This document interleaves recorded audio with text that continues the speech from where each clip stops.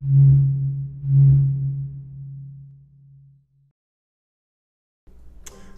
my name is Dean Sala of Suntactics. Here I am again. We're gonna, we decided to do another set of videos on what else can you charge besides phones and tablets. We've been telling everybody that we could charge AA batteries and camera batteries and it just it goes around. There's so many things you can charge with our solar chargers. So this video we're going to talk about these what they call an 18650 battery.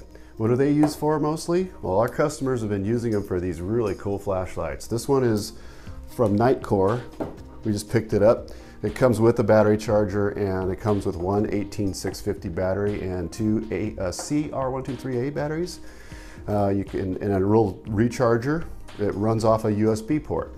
That's the most important part because our solar chargers are USB solar chargers want to make mention too that there are quite a few of these type of uh, battery chargers on the market that will charge the these small 123 batteries and the 18650 batteries.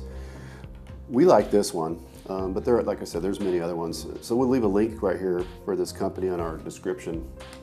So I'm gonna take the guy here and take all these parts and why don't we go out and do a demo all with a solar charger. Let's grab one of these and we'll see you in a minute. Okay, we're gonna do a quick demo of charging one of these 18650 batteries. We're gonna pull out of the flashlight. Well, I'll show you that we're just using an sCharger, uh, sCharger 8, just propped up. The sun is kind of low in the sky, um, which is a good, makes it even for a better demo.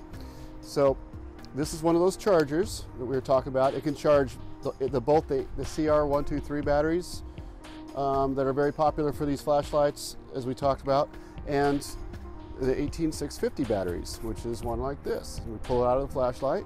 You'd hope you might have a couple of these so you could be charging one and then using the other.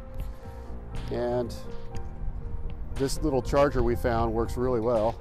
You just stick the battery in there like that, load it up, and then let's move over just a little bit to get some sun.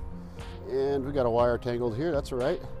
So go ahead and plug it into the panel and immediately you could see that it starts charging up. It's at 37, 38%, and uh, it's very effective.